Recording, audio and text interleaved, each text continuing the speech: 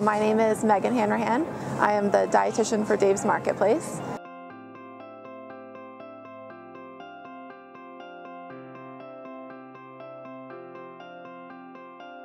So, I mean, right here we're in the produce department, so you can see that there's a variety of colors. And we get a lot of different nutrients and vitamins from different fruits and vegetables. So, um, so one of the main foods that I love to eat is beets. So I think there's a variety of nutrients that come from beets. There's a variety of colors, and it's really easy to roast. You can eat them cold, you can eat them hot. So I think it's a great um, under-eaten vegetable. So there's a big craze right now going kind of meatless on certain meals.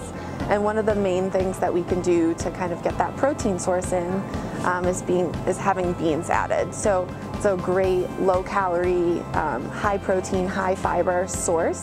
I also really, really love salmon.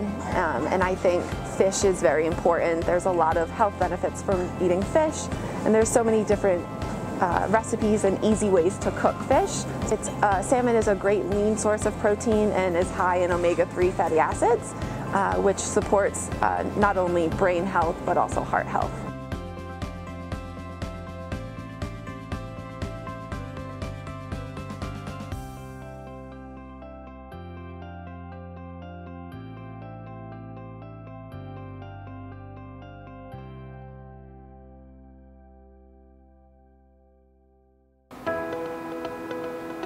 Hi, I'm Julie O'Connell, editor of The Rhode Ahead, your Blue Cross member publication. If you enjoyed this video, like, subscribe, or visit us at rhodeahead.com.